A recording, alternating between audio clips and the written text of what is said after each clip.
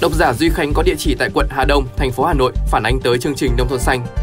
Công viên Thiên Văn học tại phường Dương Nội, quận Hà Đông, thành phố Hà Nội đi vào hoạt động trong sự hồ hởi phấn khởi của người dân sau 4 năm bị bỏ hoang. Tuy nhiên, chỉ sau vài tuần, tại hồ điều hòa trong công viên đã xảy ra hiện tượng cá chết hàng loạt. Hàng trăm xác cá chết không rõ nguyên nhân nổi trắng rải rác khắp mặt hồ.